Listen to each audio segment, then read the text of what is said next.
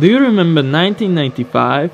The year when FIA allowed a 10-cylinder layout with a maximum displacement of 3 liters for the F1 Grand Prix? Well, I don't, because I was just born, and am not such a F1 fan either. But I did, and that was an era of ridiculously high revving machines and almost 1000 naturally aspirated horsepower. BMW didn't take part in this party until 2000, when they introduced the E414, a 3-liter 72-degree V10 with 810 horsepower at 17,500 rpm. The next year they came up with an updated engine, the P80-1 using a wider 90-degree V with lower center of gravity, more power and higher redline. The power plant was improved over time, reaching a 940 horsepower output at 19,000 rpm. That was the P83. Why is this information important you ask? Because this era inspired engineers to create this production engine.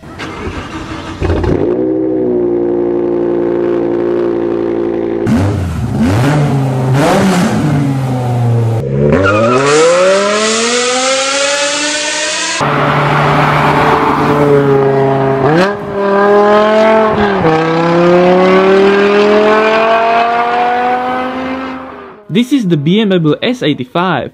It was a clean sheet design unit using aluminum engine block and a 90 degree V angle. Cylinders fired unevenly with a 90 degree and 54 degree firing intervals. It was rather a unique solution as every previous M engine was based on an existing power plant. As a typical naturally aspirated M engine, it featured individual throttle bodies, 10 electronically actuated in this case. Compared to its predecessor, the 4.9 liter S62, the S85 was a much faster engine with a rev limiter set 1250 rpm higher. The V10 weighs around 240 kilograms. Some of the special features is that it doesn't use cylinder liners and has a so-called quasi-dry sump lubrication system. This incorporated two separate oil sumps, the front and back one. Due to very tight manufacturing tolerances, limiting oil flow, the engine suffers from a premature connecting rod bearing wear, which need to be changed after 50,000 miles.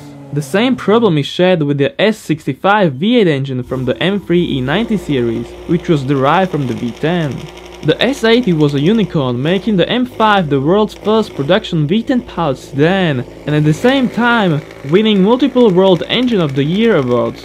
It could have been found in the M5 E60 and the touring model codenamed as the E61, as well as the M6 Coupe and convertible. Interestingly, the engine was shared in the Wiesmann GT MF5 too, and if the stock power wasn't enough for you, an American tuner Dinan is able to squeeze 720 horsepower at 8300 rpm using new cams and bored and stroke 5.8 liter engine displacement. The succeeding F10 M5 generation was initially intended to be produced with a S86B55 engine, which translates into a 5.5 liter V10 engine, producing over 600 horsepower and 800 Nm of torque thanks to a supercharger. Sadly, it did not happen, and the S85 remains the first and only production V10 to be sold by BMW.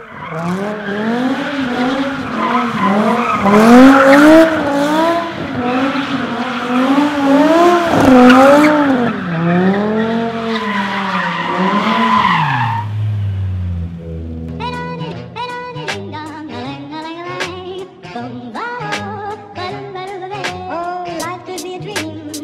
If I could take you would go If you would tell me I'm the only one that you love, life could be a dream, sweetheart. Hello.